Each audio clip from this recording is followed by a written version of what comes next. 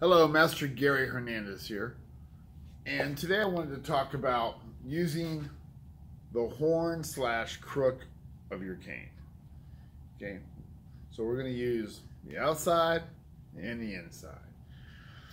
now, a lot of people use the cane for long range striking, and that's good. A lot of people use it for thrusting, and that's good.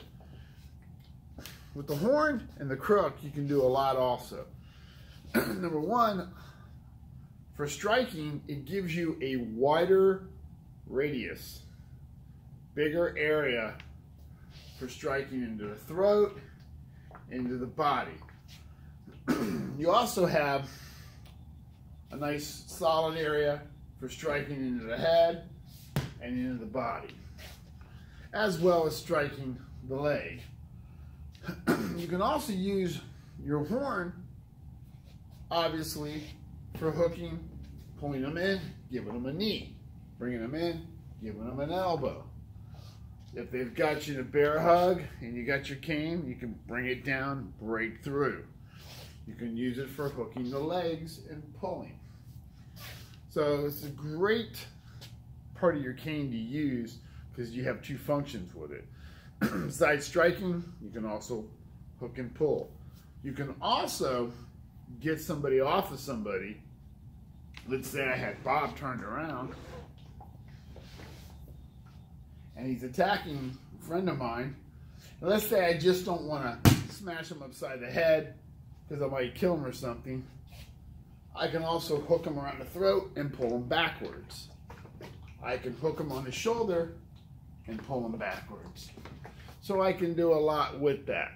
And if I have a good, nice, sharp pointy area here on the horn, I can dig it into them more as well.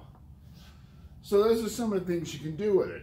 Again, these, you know, instead of trying to pull, especially if I'm injured or if I have, or if I'm a lot older and I have a lot of arthritis, or if I'm a really petite female, or even a, a you know, unfortunately, a younger, weaker person, and I'm trying to pull them off, they may elbow me or something.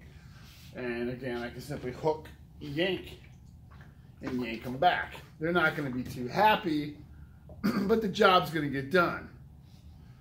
You know, so also, turn Bob back around. You know, I can also smack into them, pull them forward as well. So the horn has a lot you can do with the horn. You know, again, I can move arms around, I can hook legs, move them around.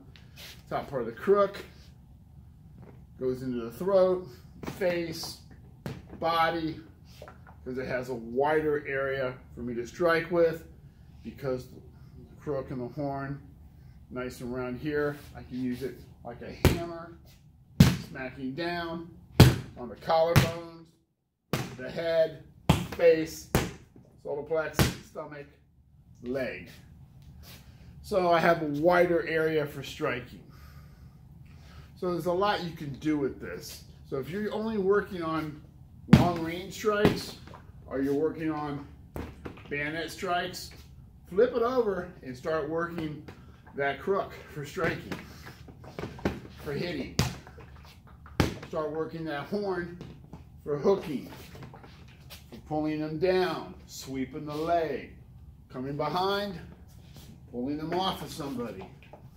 So start working those techniques. Use the entire cane. Know, we've already talked about using the tip area. We talked about using the middle part of the cane for rifle strikes. You used it for bayonet strikes. We use it for long range striking on the head and then the uh, collarbone and the body.